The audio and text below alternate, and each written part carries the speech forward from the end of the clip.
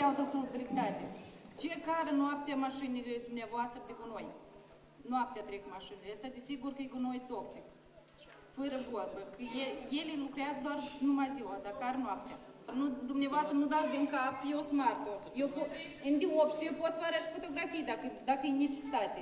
Eu azi vă spun un secret pe care l-am ținut ani de zile.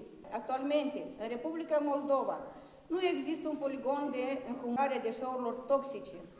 Din acest motiv, o parte din ele sunt transportate în poligonul, în gunoiște de menagerie, fără avizul organelor abilitate. Merge vorba de resturile care sunt întrebuințate la uh, biochimice care sunt transportate în militarie. Și anume, s-a, de, s-a descoperit cel mai grav, cu toate că Ministerul Ecologiei cunoștea faptul. Paraformaldehida, o substanță extrem de toxică, folosită în producerea explozivilor. Uitați-vă, aceste substanțe, în afară de ele, alte mii și sute, au fost turnate în poligonul de gunoi la noi. Am făcut demers pe doamna Greceană și am rugat-o să ne primească. Vroiam anume cu ei să discutăm problema, să-i spun, să arătăm că avem probleme grave. Nu am fost primită. Odată ce ei nu ne aud pe noi, deci noi trebuie să-i impunem ca să vină la noi.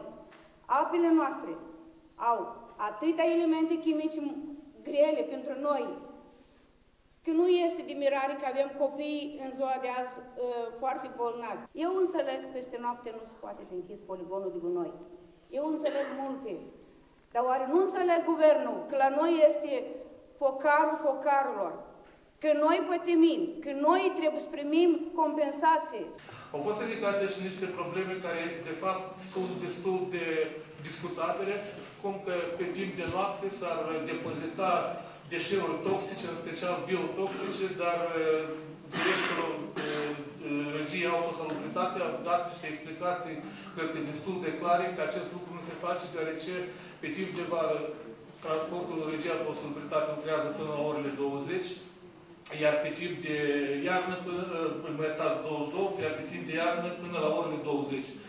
După această perioadă nu mai funcționează, nu circulă niciună unitate de transport. Și apoi, dacă ar fi acest lucru, nu este nicio problemă, poate fi transportat și ziua este acela tot așa de simplu.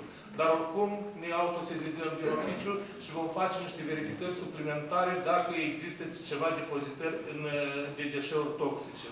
De la 1 ianuarie 2011, în orice condiții, localnici nu vor mai permite ca să fie continuată depozitarea deșeurilor pe acest uh, poligon. Una din condițiile care au fost puse anterior, deci a fost deja uh, rezolvată, a s-a prezentat toate facturile privind impozitul funciar și de altă natură achitat de Consiliul Municipal Chișinău pentru funcționarea acestui poligon, însă ei solicită în continuare ca să cunoască exact la ce uh, autoritățile locale din Țânțăreni au cheltuit acești bani, adică care aceștia să nu fie folosiți pentru niște um, pentru alte careva necesități. A pus cineva întrebarea că în cazul unui cutremur de pământ, digul sau barajul care ține toată aceast, acest volum de gunoi ar putea ceda, le s-a explicat din punct de vedere constructiv altfel ce înseamnă acest lucru. Problema mai complicată, care nu s-a găsit până când o rezolvare definitivă, este consultarea medicală a populației de medici din municipiul Chișinău și medici din raionul Aninii Nou sau din localitate.